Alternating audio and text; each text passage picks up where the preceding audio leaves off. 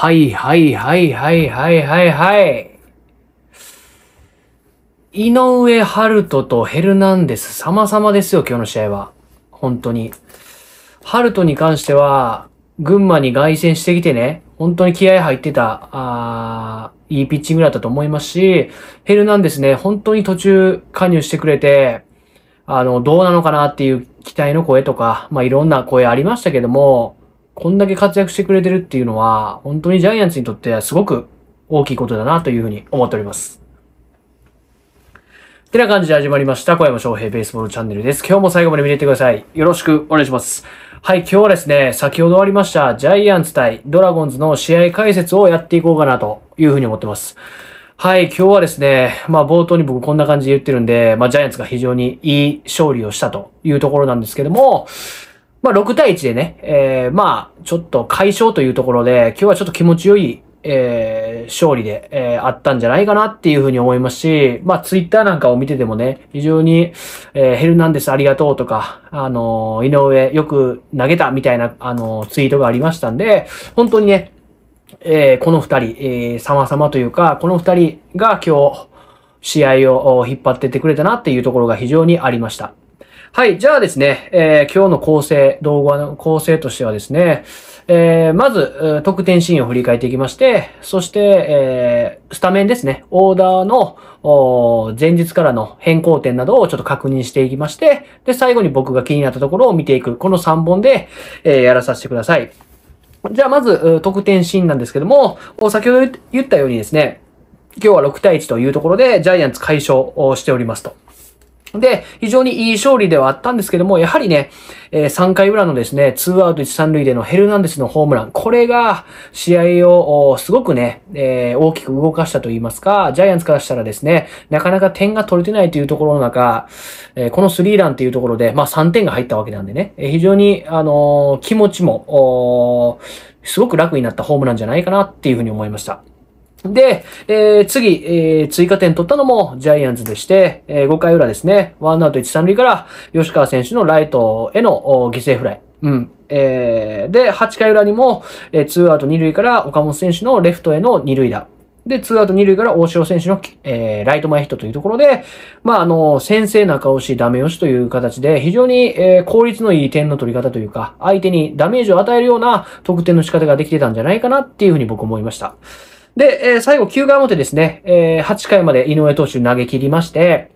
で、9回も行くかなっていうふうに思ってたんですけども、まあ、安倍監督のね、試合後のコメントもありましたけども、やはり、えー湿度がね、高くて、あの群馬県ね、すごく暑いというところで、まあ、よく、うん投げてくれたし、いっぱいいっぱいだ、いっぱいいっぱいだったんじゃないかなっていうようなね、えーコメントもありました。で、9回はですね、まあ、泉投手、まあ、点差があるんで、えー勝ちパターンの投手は出てこないというところで、泉投手が出てきて、えーまあ、ちょっと1点は、あ取られてしまいましたけども、まあ、2アウト1、3塁から石川選手にね、えーセンター前ヒット打たれて、えー1点は取られたもののですね、やはり6点も点差があったんでね、あのーまあ、1点というところに抑えれて、まあ、6対1というところで非常にね、えージャイアンツファンからしたら気持ちのいい、えー試合だったんじゃないかなっていうふうに僕は思います。じゃあ次ですね、えーちょっと前日から、えースタメンの変更点などをちょっと見ていきたいなというふうに思うんですけども、ジャイアンツに関してはですね、えー昨日からのスタメンの変更点というのはですね、8番のショートの門脇選手が伊豆口選手になったというところでございますと。で、えーまあ昨日、門脇選手じゃなくて、伊豆口選手はですね、ちょっと熱中症で、あのーまあ、倒れたというかね、熱中症でちょっとこう気分が悪くなって、まあ、急遽ね、門脇選手に、えーまあ、ショートなったというところで、ちょっと体調大丈夫かなっていうところは、ちょっとファンの方ね、えー心配されてた方もいらっしゃったとだと思うんですけど、今日ね、えーちゃんとね、8番で、ショートというところで入ってくれた。これ非常に大きかったと思いますと。で、えードラゴンズに関してはですね、スタメンの変更点っていうところで言ったら、えーまあ、特になくてですね、えー今日はですね、相手のピッチャーですね、涌井投手というところで、まあ、非常にベテランの選手と、まあ、井上投手って若い投手というところで、まあ、非常にその、なんて言うんだろうね、えー、涌井投手で言ったら経験が非常にあるんで、まあ、地方球場でもですね、え、対応していけるのかなといういうふうに思いましたし、まあ、井上投手はですね、若い投手で、えー、まあ、先、この間のね、え、登板はあまり良くなかったですけども、今日にかける思いっていうのは、え、非常に、え、強かったと思いますし、まあ、外戦当番というところで、まあ、小学校であったりとか中学校、高校でも、投げてきた球場だったんで、そういったところで慣れもあるのかなというふうに思ってました。はい。じゃあですね、ここから僕が気になるところを、できるだけわかりやすくね、面白く、楽しくね、えー、解説していきたいなというふうに思ってます。はい。今日ですね、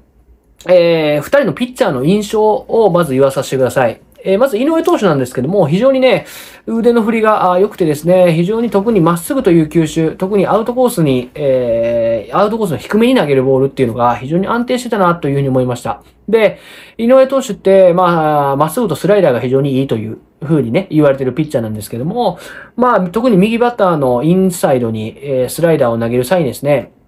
あの、空振りを取るというよりかは、今日はどっちかというと、ファールを打たすというね、えー、ところが非常に多くてですね、そこでカウントを稼ぎながら、フォークボールであったりとか、まっすぐの内行ったりとか、まっすぐの外行ったりとか、っていう風に、結構やはりまっすぐが、えー、質が良かったというか、コントロールが良かったんで、えー、バッターに対していろんな選択肢を与えられてたんじゃないかなっていう風に思います。逆にですけども、涌井投手はですね、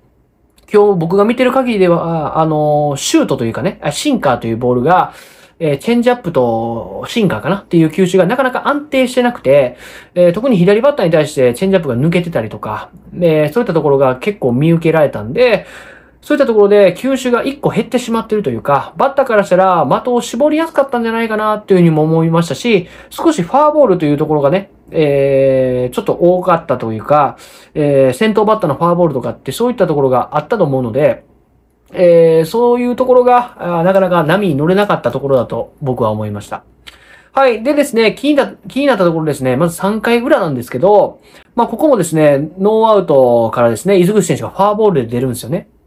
で、ノーアウト一塁で、井上選手がバント、まあ、ツーストライク追い込まれながらなんですけど、しっかりね、スリーバントで決めれた。これは、えー、非常に、えー、まあ、本来で言えばね、一発で決めてほしいというところはあるんですけども、えー、そこはね、よくね、えー、相手もバッバントさせないようなね、配球をしてるんですけども、そこをしっかりできたっていうところは、井上投手ね、今日良かったんじゃないかなっていうふうに思います。で、ワンアウト二塁から丸選手のライト前ヒット。で、1、3塁作って、えー、吉川選手がね、えー、見逃し三振してしまったっていうところ。で、まあ、外を意識させられながら、させ、えー、意識をさせられて、えー、最後インサイドにまっすぐというところで、まあ、ちょっとズバッと来たところで、まあ、あれは反応できないというところは、相手のバッテリーがしっかりアウトコースを意識させてたんじゃないかなっていうふうに思いました。で、えー、ここですよね。えー、ツーアウト3塁ヘルナンデスのホームランというところなんですけども、先ほど言ったように、えー、シュートボールとか、まあ、シンカー、チェンジアップっていう球種がなかなかこう、思い通りに投げられてないっていうのが、えー、涌井投手僕はあったと思います。で、その中でヘルナンデス選手は右バッターですから、なかなか、あそんなにね、安定してないボールをですね、右バッターに投げるっていうのは、えー、デッドボールもあったりとかしますから、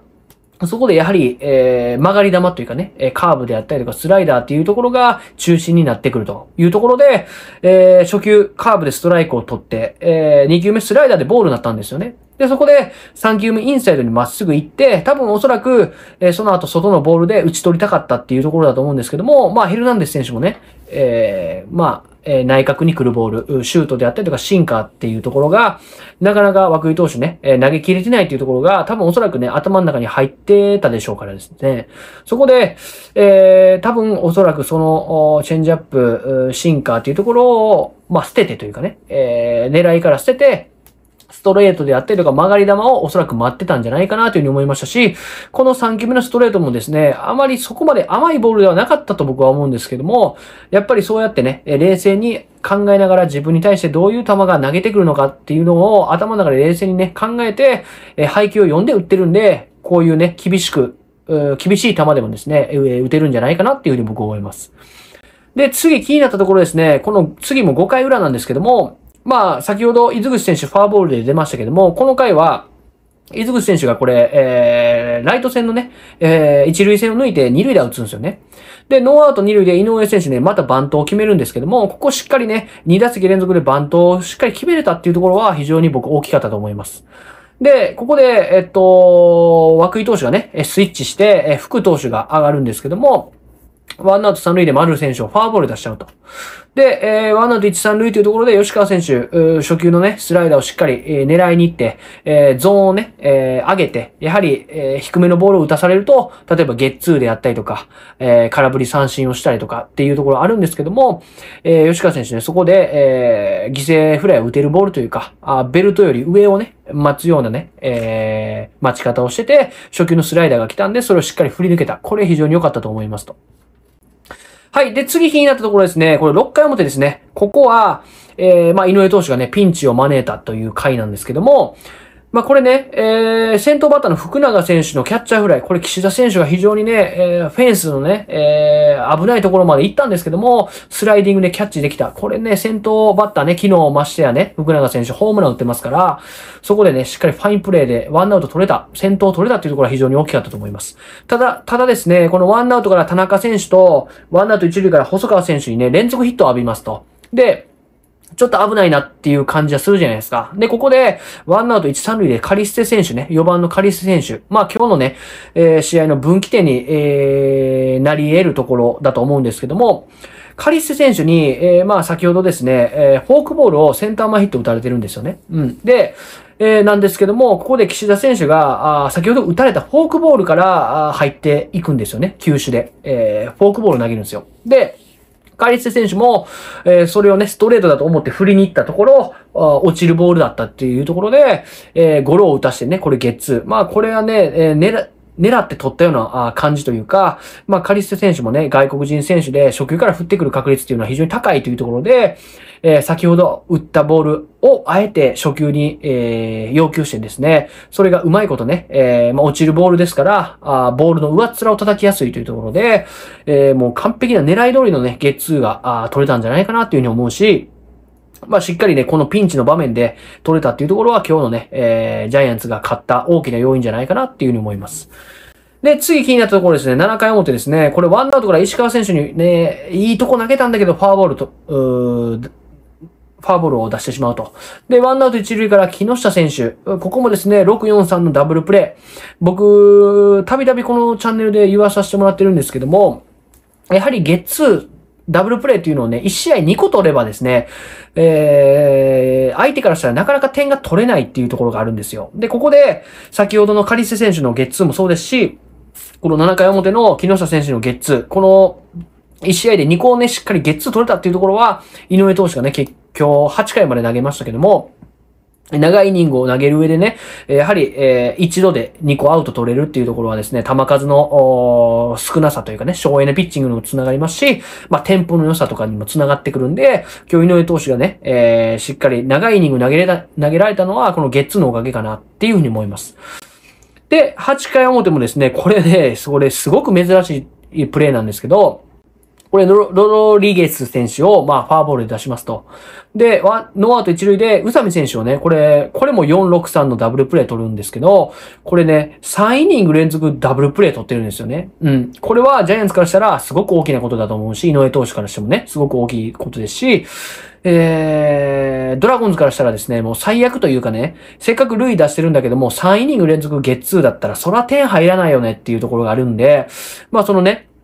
やはりある程度点差が開いてるんで、送ってって言ってもね、えー、なかなか1点ずつの勝負になってくるし、えー、だったらランナーを貯めてっていうところで、えー、まあヒッティングにしてたんだ、してたんだと思うんですけども、やはりそこでね、まあヒッティングをする場合はですね、やはりこういったゲッツーもあり得るというところで、まあやはりね、え、点差が開いてくると、まあ大味な攻撃になってしまうというか、うん、まあそこは仕方ないことなんですけども、ちょっとドラゴンズからしたら、3イニング連続ゲッツーはちょっとね、えー、そら点なかなか入らないよねっていうところは、えー、あったと思いますと。で、えー、8回裏ですね、最後ですね、これね、えー、総武投手が出てきまして、まあ、2アウトからですね、ヘルナンデス選手がセンター前ヒット打ったんですけども、これをね、カリス選手がエラーをしてしまって、まあ、普通のヒットなんですけども、二塁打にしてしまう。これがね、こういうね、隙があるっていうのは、あの、まあ確かにね、点差がある程度4点かな ?4 点開いてて、ちょっとこう集中力が切れたのかもしれないですけども、これはね、プロとしてね、あまり、えー、僕は良くないプレーでなんじゃないかなっていうふうに思いました。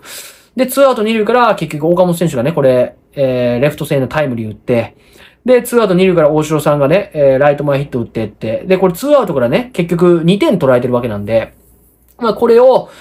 ヘルナンデス選手のヒットで抑えといて、もし、岡本選手の二塁は打たれても、まだランナー二、三塁なんでね、点取られてなかった可能性も十分にあったんですけど、まあこのね、カリステ選手のこのエラーというところで、ランナー二塁までや、やってしまったっていうところが、最後ね、ちょっと、あのー、まあ追加点というか、ダメ押しの二点をね、えー、食らってしまった、えー、原因かなっていうふうに思います。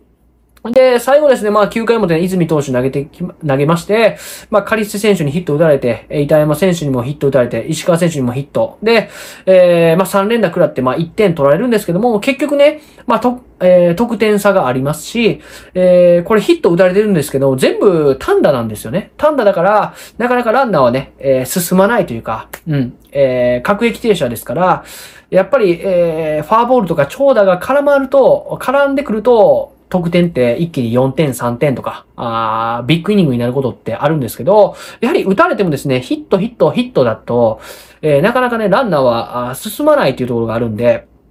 だから、あよく言われるのがね、えー、高めに投げるんじゃなくて、やはり低めで、えー、投げてるうちはですね、ヒットで収まるっていうのはね、そういったところじゃないかなっていうふうに思います。はい、そんな感じでですね、今日はですね、非常に6対1というところで、非常に快勝というところで、すごく気持ちいい試合だったんですけども、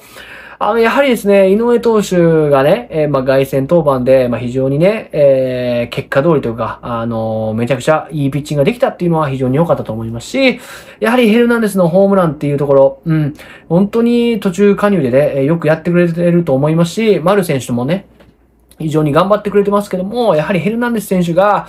やはりある程度やっぱりこう3番というところに座ってですね、え、チャンスの場面で打ってくれてるっていう場面が、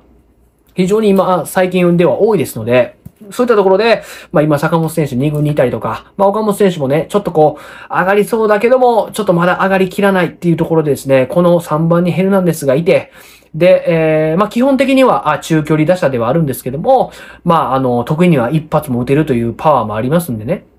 そういったところで他球団からすると非常にね、えー、今ジャイアンツを抑えるためにはというかね、ジャイアンツから、えー、ジャイアンツから白星を取るためにはヘルナンデスを抑えないといけないというところがあると思いますから、他球団もね、えー、必死になってね、え、データであったりとか、え、配球をしてくると思いますので、そこをね、え、ヘルナンデス選手は乗り越えていけるのかっていうところも今後ね、注力しながら、あ見ていきたいなというふうに思っております。はい、そんな感じで今日は終わってきます。いつもありがとうございます。これからどうぞよろしくお願いします。そんな感じで今日は終わってきます。じゃあね、バイバイ。